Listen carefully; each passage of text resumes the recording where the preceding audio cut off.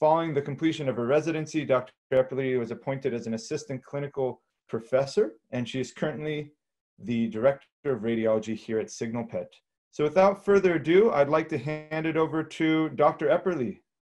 Well, good afternoon, everybody. Um, I, am in uh, New York time here, so afternoon for me. Um, so excited to get to talk to you all um, about, again, increasing your confidence in thoracic radiographic inter interpretation. You know, I was a practitioner for eight years, and so hopefully this will um, give us some real practical um, pointers and hopefully get to practice a lot. Um, here you can see a, a nice image of a cat with pretty horrible asthma, so we will continue on. So some of the learning points that we're going to cover today. So um, really for thoracic radiographs, proper positioning um, and radiographic technique is paramount, much more so than for abdominal radiographs. And so we're going to chat about that some. Um, when it comes to thoracic radiographic interpretation, you just have to practice over and over and over again to, to really be able to pick up those 50-ish uh, shades of gray that, that we see in the lungs. And so um, we can't do that today, but we're gonna practice a little bit. So hopefully that'll help.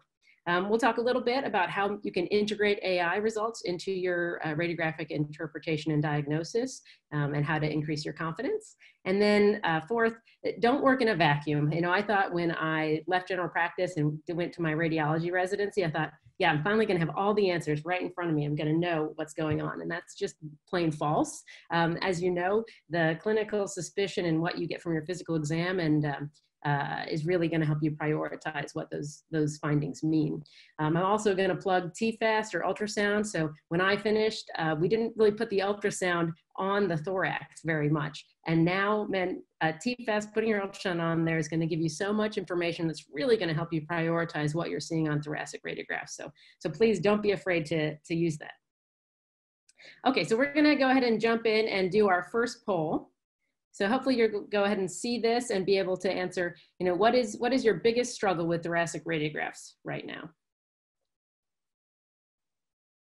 So you guys should be able to type in there and that should just pop up on the screen. It may show some responses. All right. So it should just come along here. So uh, evaluating heart size, yeah, all of it. Confidence, Uh, consistent positioning, like that. Confidence, yeah, yeah. All right, what is, what is normal? I agree. I think, I think we'll talk, we'll talk quite a bit about positioning and confidence uh, and hopefully yeah, brachycephalic dogs. Brachycephalic dogs are the, the bane of my existence as well, and, and mixed patterns in cats, so that's great, and, and lung patterns. So, so these are, these are all great, great points. All right, so I'm gonna pop ahead. And um, segue in just quickly into how SignalPET um, can help with some of those things, right? So, so basically having, we have this uh, thoracic panel with some of these signs. And so as you're going through your interpretation, particularly when it comes to lungs, having another, um, some backing um, to decide, is that really a pulmonary pattern that's abnormal that you're seeing there or not, um, is critical. So we'll talk about that as well. All right, so what we're gonna do is we're gonna uh, do a quick walkthrough of how to really quality assess, review, uh, and review a systematic approach to interpreting thoracic radiographs. And then we're gonna practice with some cases and some polls where you get to, to click on um, what you think's going on, and then we'll do a lot of Q&A. So first, what, what is quality assessment? Um, and so this is, this is crucial. It's the first step is, you know, is the radiographic study of diagnostic quality? And again, I've, I've mentioned I was in general practice. Um, sometimes radiologists are, we can be a little bit of prima donnas and want things perfect. I'm, I'm talking about diagnostic quality, okay? So that means that the positioning is appropriate enough so that we can give you an answer, whether that's AI or a radiologist or your own interpretation, so you can make the right interpretation, okay? Um, you're also going to want to make sure you have the correct views um, and enough of the views. Uh, proper exposure is also crucial, and we're going to talk about that some. And then optimally on thoracic radiographs, you're going to obtain them on inspiration, um, but that's also not always uh, achievable in our patients. Okay, so here, here we go. We're gonna look at a lot of pictures today because that's you know what I do all day long. Uh, so these are kind of textbook perfect position thoracic radiographs. They're clearly not the same pet um, since this is a dog here and a cat on the VD. But um, what I want you to first look at is the gray. Okay, so on our digital radiographs, we should be able to see trabecular bone detail really nicely, but still see throughout the lung that we can see pulmonary blood vessels um, out to the periphery. It's not black anywhere, okay? And I still have grayscale in my abdomen, okay? So this, this, uh, this radiograph's appropriately exposed. Um, we also wanna assess, um, make sure we have all the thorax, right? So we wanna have thoracic inlet and make sure we have the caudal extent of the lungs when we're evaluating our thoracic radiographs. And then as far as how do we decide, are they um, appropriately positioned, i.e. not oblique? So it's really handy to just look at the ribs, right? And make sure that they're paired and superimposed with each other and that the ribs heads, you know, don't extend dorsal to the vertebral canal. Okay. Um, similarly, when we're looking at these uh, VD radiographs, right, we really want the vertebral column and the sternum superimposed. So you can't see the sternum.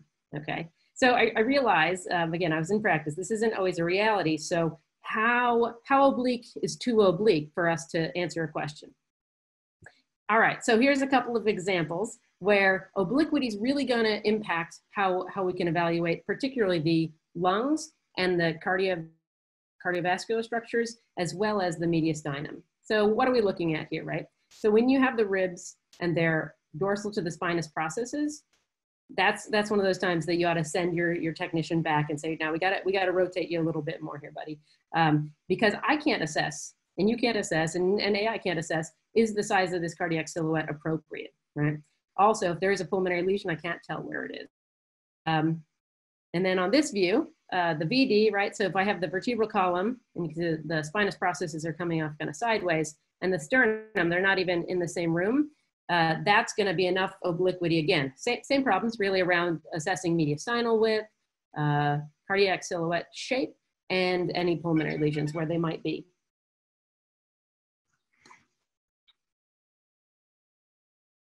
Okay, uh, I'm just getting a message that you can't hear me. No, Aaron, we can hear you fine now on this side. Oh, okay, perfect. Sorry about that. Okay, so um, the cardiac silhouette, like I was saying, is there's uh, deviated over to the side. So these are too much, right? And so I, they don't need to be perfect, okay? Um, the other thing that we're gonna be talking about, well, I'll jump to this next one, right, is this case. So here, here's a clinical case. Is this uh, radiograph diagnostically um, appropriate. Uh, so quickly, as you're scanning it, um, I hope that it highlights the fact that you should be thinking, yes, diagnostically appropriate, and, and that's pretty great considering that this dog is probably really, really struggling to breathe right now, right? So you've got this horrible uh, non-cardiogenic pulmonary edema. Uh, and so I wanna be realistic about what we're dealing with when we're looking at thoracic radiographs. You're gonna have patients who um, you know, having a perfectly positioned radiograph in a dead dog doesn't really, you know, do you much good, okay? And we're also gonna be fighting respiratory motion in these guys if they are dyspneic. And that's, that's what we have to balance. Can we answer the question? And so in this, in a lot of cases, we want to discriminate between what's, what's making this dog try to die. And so a radiograph that's not perfectly positioned um, of a lateral view to say, oh, is it full of pleural effusion or is there horrible non-cardiogenic pulmonary edema, I think that gives us a lot of information. We're not going to be able to assess subtle uh, changes to cardiac silhouette size, other things um, in those cases. But I think we can still answer a lot of questions. Okay, so so this radiograph is definitely of diagnostic quality, and again, nice grayscale throughout the lungs. Here's the orthogonal in this case. Um, so this is a DV radiograph. You can see it's not quite as nice as the lateral was. Again, it still allows us to make the diagnosis can still see the increased opacity in the caudodorsal lung fields. Um, again, the sternum and the vertebral column aren't perfectly lined up. And uh, allows us, you know, the, to at least say, hey, the cardiac silhouette's not huge. Okay, we don't see pleural effusion. So again, this is of diagnostic quality, even though it's not perfect. Okay, so now we're gonna review kind of a systematic way to evaluate, um, sorry, my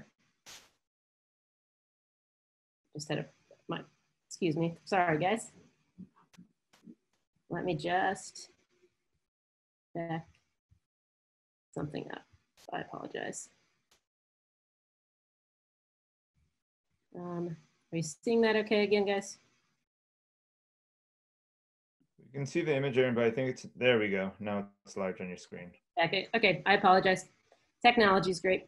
Um, all right, so when we're gonna evaluate the lungs, um, the, uh, how we look at the thorax. Okay, so very first, I think we should start with lungs. And what's crucial um, to deciding what shade of gray is appropriate is looking at the expansion of the lungs. And this, um, I didn't realize this till I started my residency. And so if you think about it, right, what we struggle with so often is just that hazy shade of gray that's in the radiograph.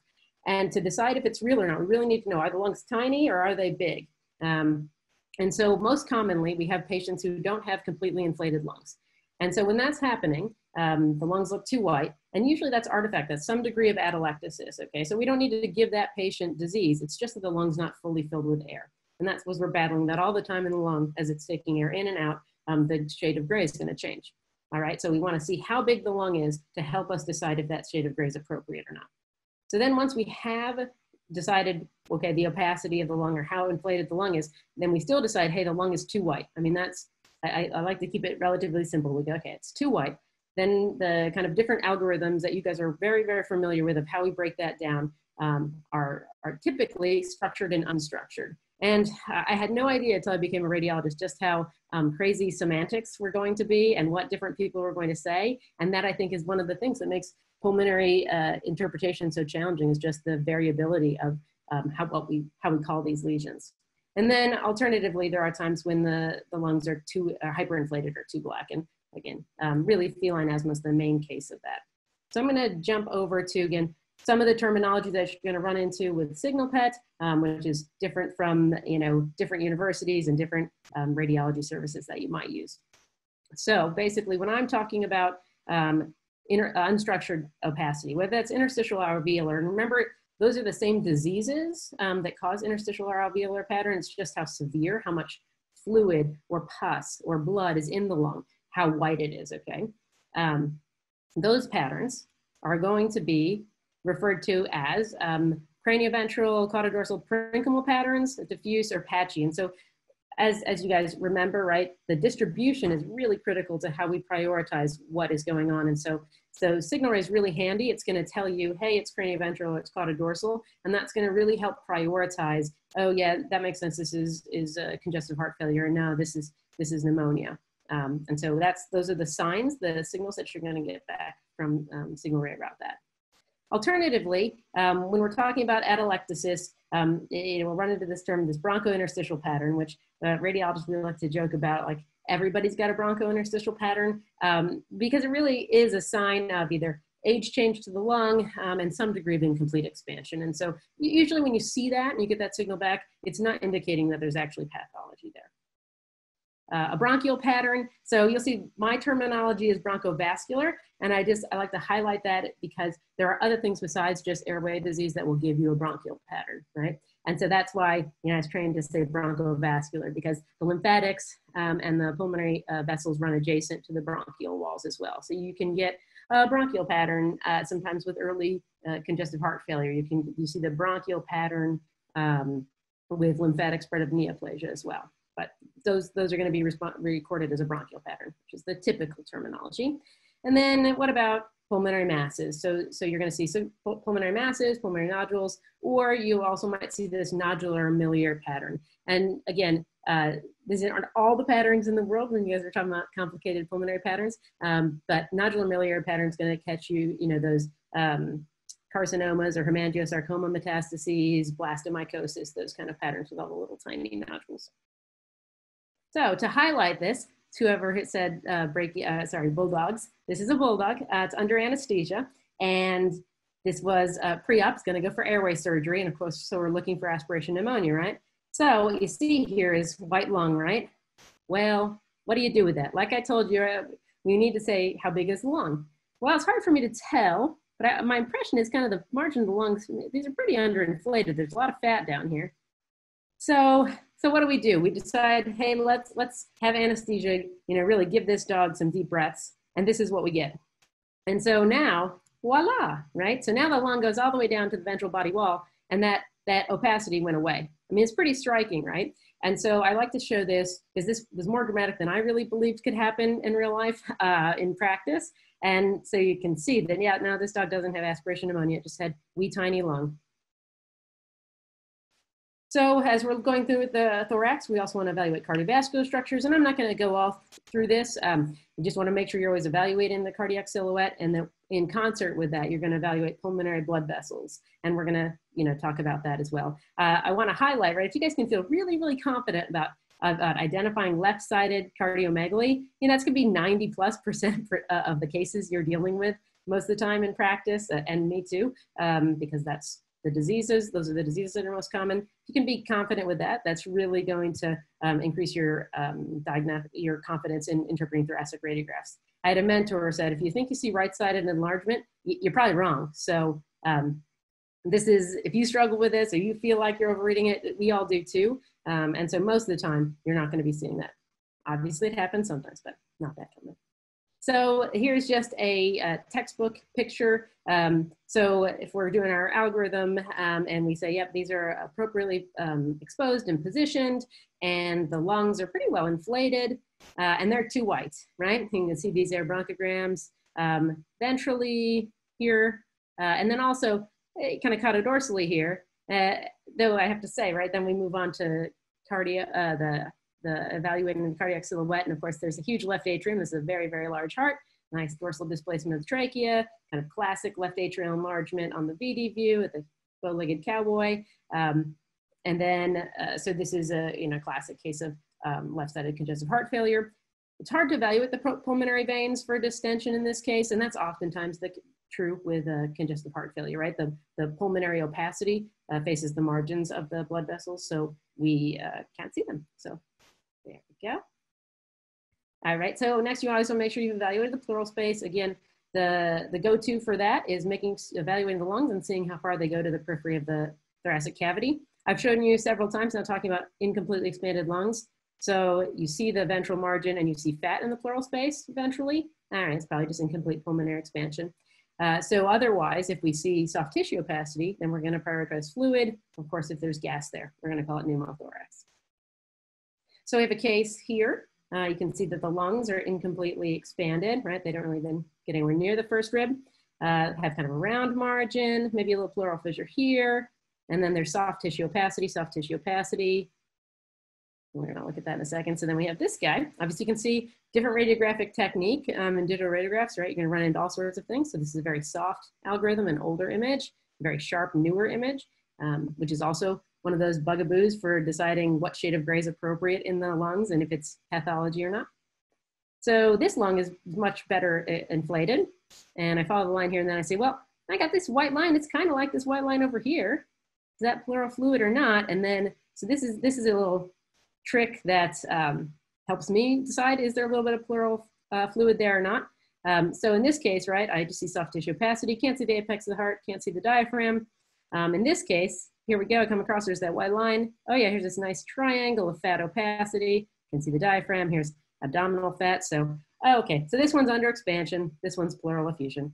But what I'd really like to point out here is instead of agonizing over trying to answer this question, I would really, really love you to just stick your ultrasound on here and confirm that it's fluid or not.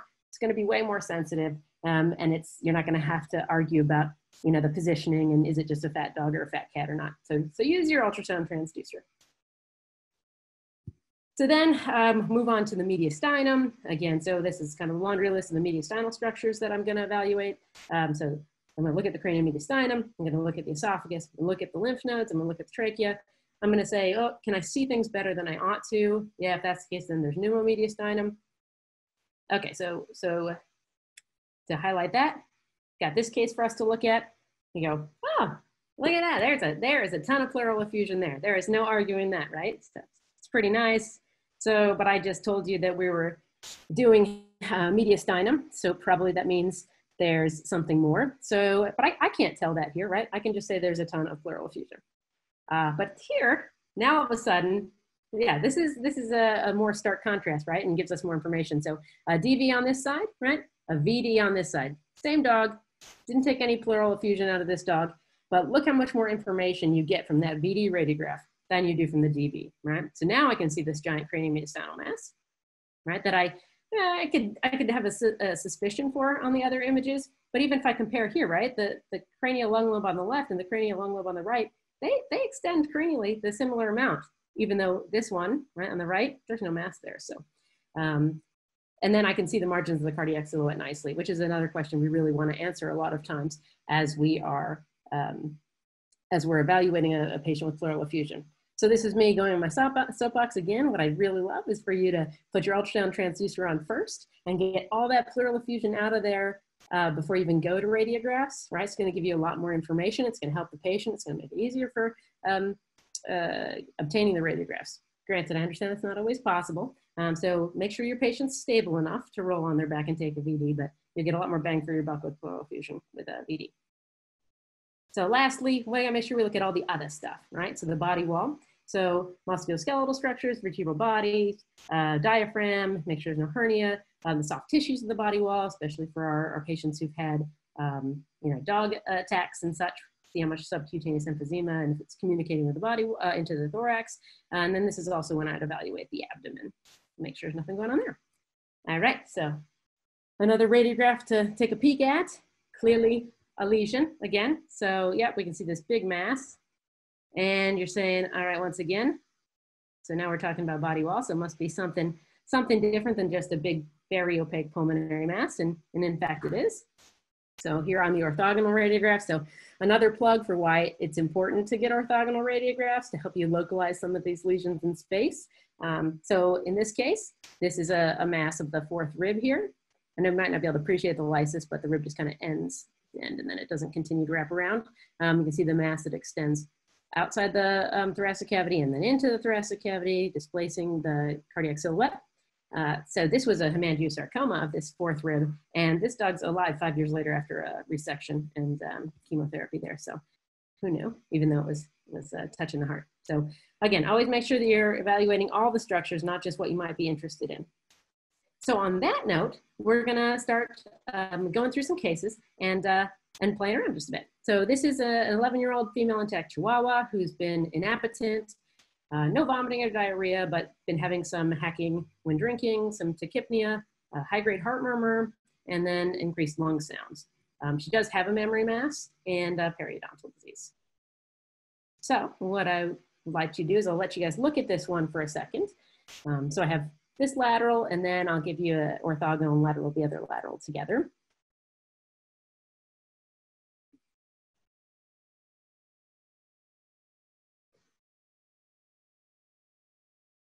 Okay, we're gonna just click ahead and you can look at the orthogonals. Go through that process of deciding are they appropriate, look at the lungs and the heart, all the structures.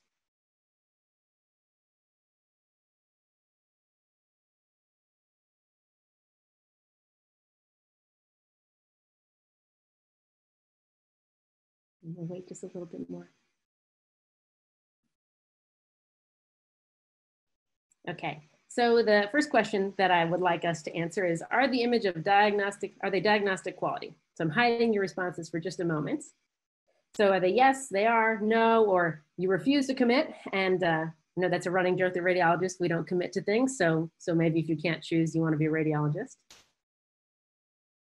All right, so you're, you're all going with mostly with yes. I got some, some future radiologists down there at the bottom, so that's excellent. Or maybe you are a radiologist already. Uh, I think there were a couple no's, but yeah, I think these are definitely diagnostic quality. So uh, positioning's appropriate. The VD is really nice and straight. Um, the lateral's not perfect, but definitely diagnostic. So we're gonna move forward to the next slide. Um, and so in this case, what I'd like you to do is drop a, a pin um, on a lesion or on lesions. I'm gonna hide our pins for a second. So you should be able to put multiple in on, on something that you think is abnormal.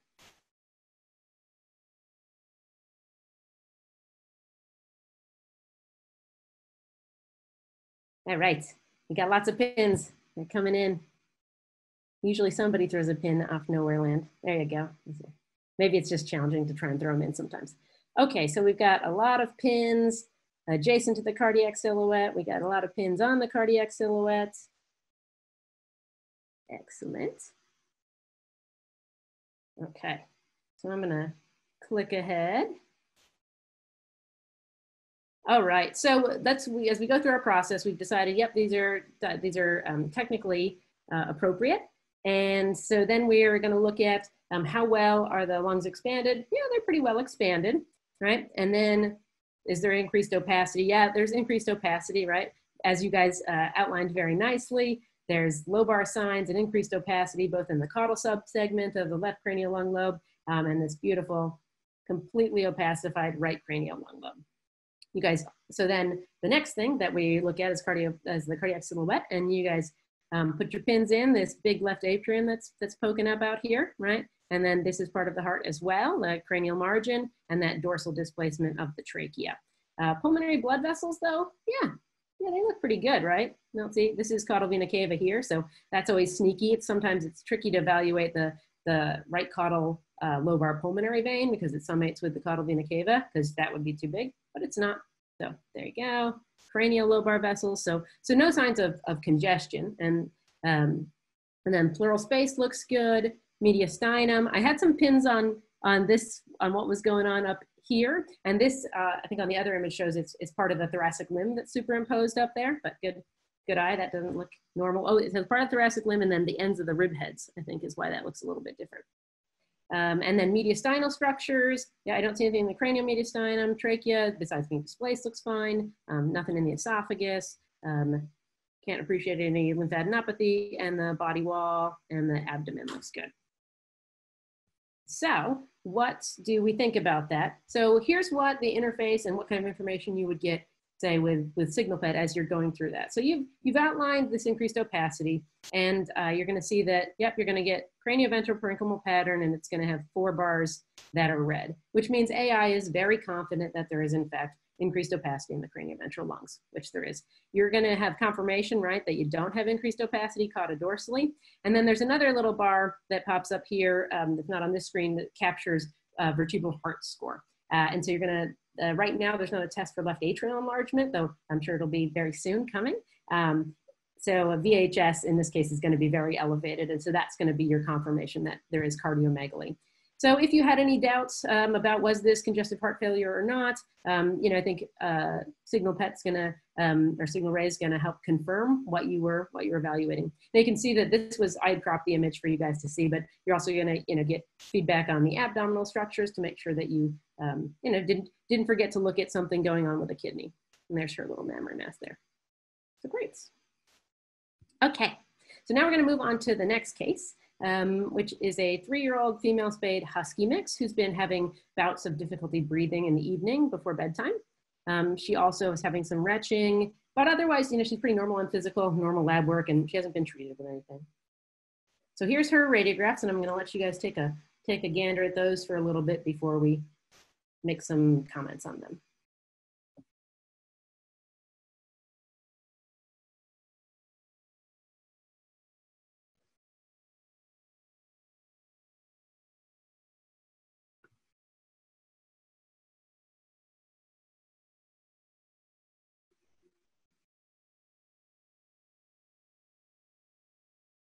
Okay, so are these radiographs of diagnostic quality?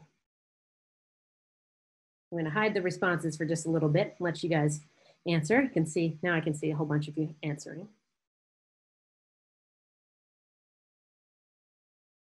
All right, let's see what you think. All right, so three quarters of you say no, a quarter of you say yes. I want you to see how we go there. All right, so I'm going to click ahead and we can chat about the decision. So, so I, I'm going to tell you that the answer is no in this case, and I'm going to tell you why. Um, so the positioning is very nice, okay? And when we're evaluating, so if we're evaluating the laryngeal region and the, the trachea, this is all fine. But what the problem is here, yeah, let's see, we see a nice, nice bone opacity. We start scooching caudally, and all of a sudden we got these black areas. I mean, pitch black. There, there's nothing you can do here. It doesn't matter how much you window and level on your screen. You're not getting back any data here. Same thing along the lateral aspects here on this VD projection, okay? So what is that? Okay, so I, I didn't know, I share this because I, I was, I had no idea what this was or was even looking for this when I was, when I was in practice and I was trained on film radiograph days and digital radiographs have a whole different, you know, box of, uh, of artifacts compared. So this is called saturation artifact. And it means that this radiograph, this portion of the radiograph in particular has been hyper overexposed, okay? So it, it just can't respond and so it's just gonna be pitch black. Okay. And the problem with that is you can it can actually lead to misdiagnosis. So the most common places we see it where it makes clinical implication is here in the thorax and then in the the limbs, right, in the musculoskeletal structures. T- take a look and see if you can find any radiographs where you can see the bones beautifully, but you can't see any of the soft tissues. Um, and that makes it, you know, you can lead, it can really lead to a misdiagnosis. Um, so anyway, so these are really overexposed. So what you want to do is see these and go, oh man, we really need to turn back our technique a whole bunch. Okay. Um, depending on where you're looking at them, you might be having your MAS, you might be jumping back several um, uh, orders of magnitude on your kVp.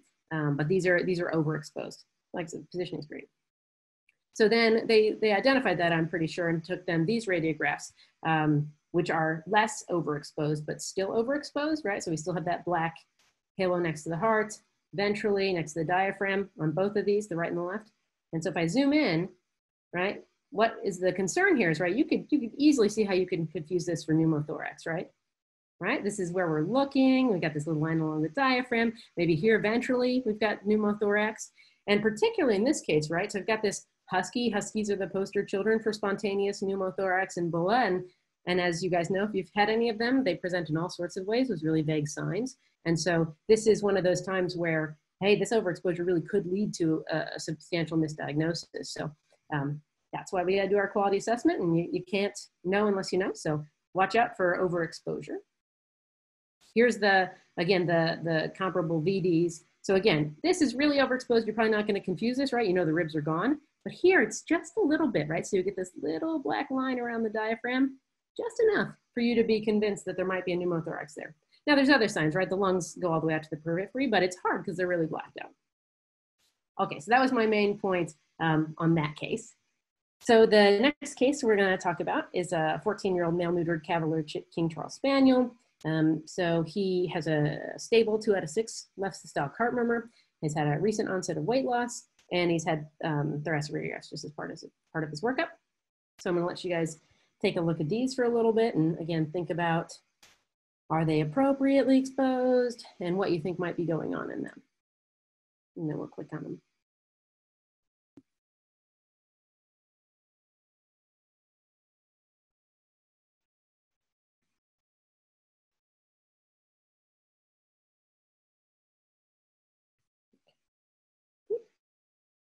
Are these, um, oh, I meant to, oh, there we go, didn't update in between. uh, are these images of diagnostic quality? I'll let you guys answer.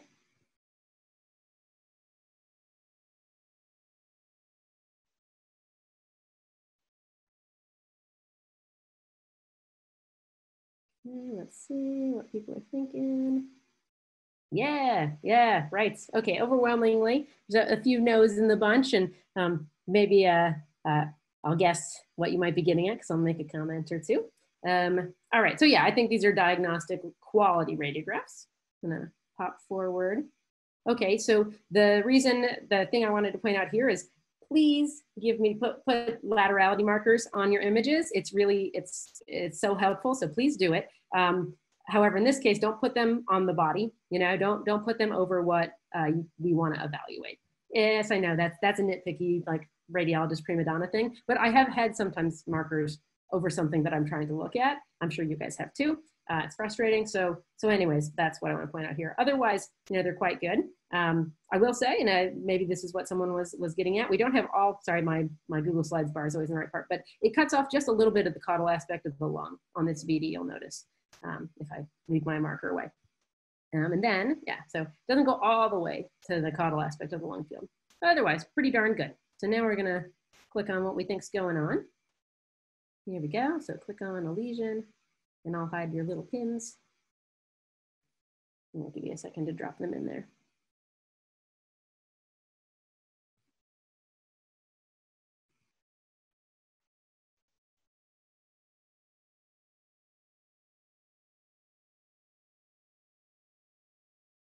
All right, we got pins. We got pins everywhere. I love it. All right.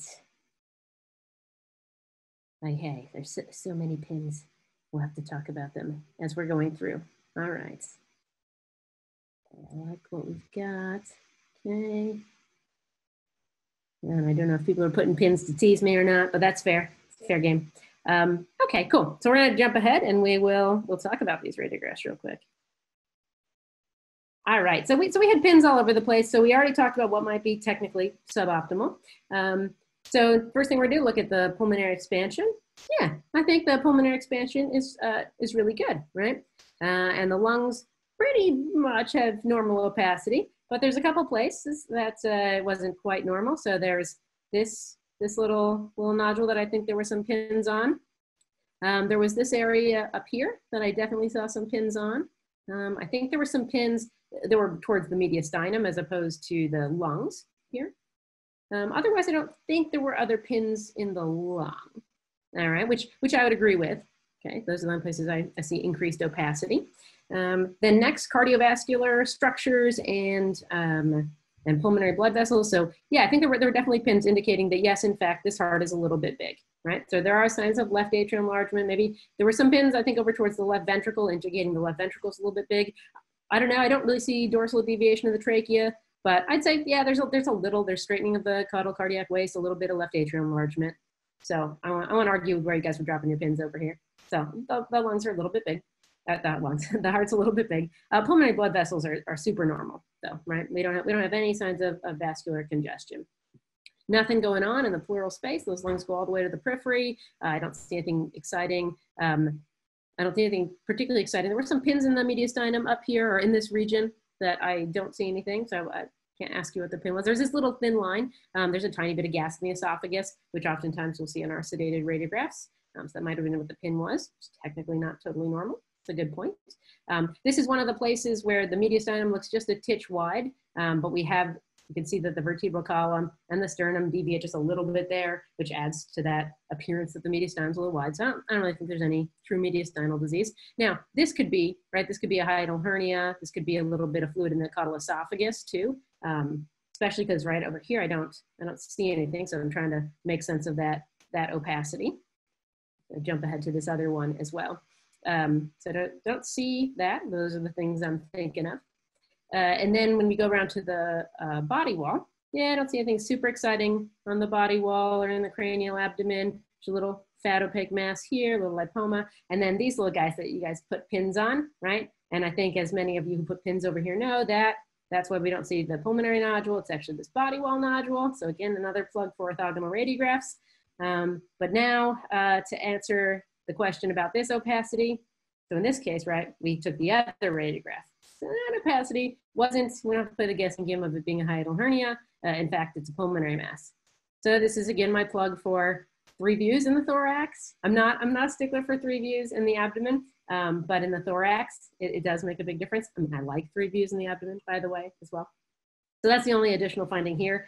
Um, and then we did take uh, the uh, the VD or the DV radiograph that included the caudal aspect, and there, in fact, was that pulmonary mass. So here's me highlighting just this example of how you crop off just a little bit of the lungs, and sometimes you crop the lesion right out. Um, again, not, not to be nitpicky, but it's just a nice example. This happened, you know, clinically at the hospital um, where I was. So um, yeah, so there's that pulmonary lesion. So try to get all the lungs in. Okay, so the, the last case before we do some Q&A time um, is Margot. She was a 17-year-old female spayed um, domestic short hair who had increased respiratory rate and efforts. And here's, here's one of her laterals, and then I'll give you the other lateral and a, a DV. I'm actually look at those for a little bit.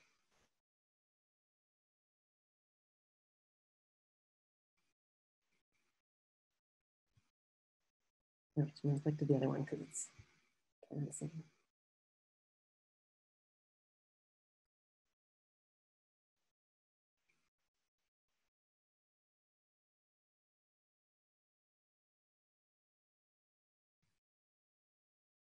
All right, so I'm gonna jump ahead and let you guys, you can still see the images there, decide, um, are they of diagnostic quality?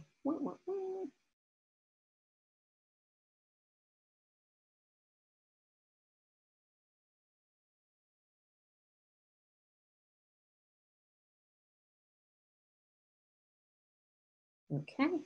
All right. So majority of you said yes. Uh, a couple said no. And uh, yeah, a couple also said depends on what I'm trying to answer. It's exactly right. And that's why it's such, um, I mean, they're all there, there's answers, these are all acceptable answers, right? Because it really does depend on the situation. This is a dyspneic cat. Uh, these are pretty, to me, these are pretty phenomenal radiographs for a dyspneic cat. Um, but, but as, as is pointed out, right? So this degree of oblique, uh, obliquity on the VD is gonna change how I perceive the shape of that cardiac silhouette uh, and how I perceive the lungs. And that might alter my diagnosis. And so, so yeah, am I taking these because I go, okay, where am I starting with this dyspneic cat? Or do I, do I already know things and I want a subtle answer? So there you go, I agree with that. All right, so now we're gonna click on a lesion or lesions because you probably have noticed there's more than, more than one in our kitty friend. Oh, I need to hide the pins. You don't wanna see everybody else's.